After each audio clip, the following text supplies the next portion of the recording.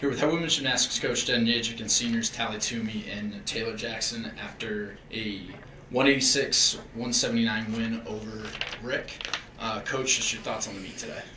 Um, yeah, I think we had a really successful day. We saw a lot of good things. Um, we went out there with confidence. Um, I think the best thing that happened today is that we made some mistakes so that we can go back into the gym, make some improvements, and really go out the next rest of the season um, getting higher scores. So we're excited for that. Taylor, you had a pretty great routine on the vault. Uh, yeah. Just talk about coming in today on senior day and having that performance that you did. Um, yeah, so one of the things Jenn kind of said to me before my vault was just do what you know how to do, do what you've been doing in the gym, and uh, do it exactly the way I did right in the four minute touch right before. Uh, I ended up sticking the landing in both the last four minute touch and in the uh, actual competition itself, so that's pretty exciting.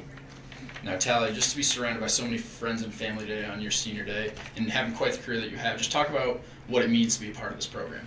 It means so much. It's really just such a special experience to have having like the teammates that I do, the coaches, and like family and friends coming to support. It's just so surreal. Just knowing that I have so much support behind me, even if I don't have the best routine, I know they're not going to hate me for it. Like, they're still going to love me and they're still going to support me no matter what. So it's just a great experience to have that.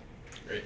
Now, Coach, you have a few more meets until the, the East Regional that we host here. Uh, just talk about ways we can improve up until then. Um, yeah, I think just having more confidence in our routines and trusting that our next routine is always going to be our best routine um, to keep getting one tenth better, to keep getting that high score, um, and place top three when we're back in Blake Arena.